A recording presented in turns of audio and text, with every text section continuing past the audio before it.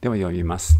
えー、1、2、3で読み始めます。英語、日本語、日本語、英語の順ね。1、2、3。スタジアムにはたくさんの人がいました。There were many people in the stadium. 本を読むつもりですか ?Are you going to read the book? これを買います。I will buy this one. 今日はやるべきことがたくさんあります。We have many things to do today. 英語を話すのは簡単です。It is easy to speak English. 私は朝食を食べていました。I was eating breakfast. テレビを見ていると可愛い動物がたくさん出てきました。When I watched TV, I saw many cute animals. テレビを見ていると可愛い動物がたくさん出てきました。I saw many cute animals when I watched TV. あなたに会ったとき、それをあなたにあげますよ。I will give it to you when I see you.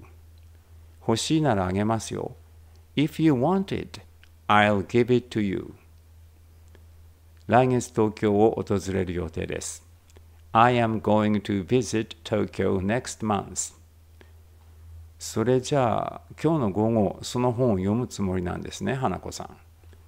So you are going to read the book this afternoon, 花子。あなたのノートを見せてください。Please show me your notebook. 私たちは彼をマサと呼びます。We call him Masa. 彼らはテニスをするために公園へ行きました。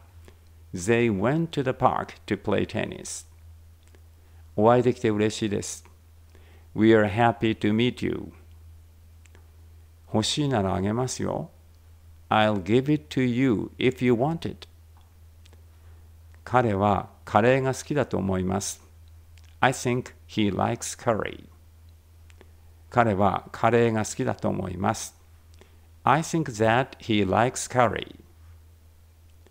英語は簡単なので好きです。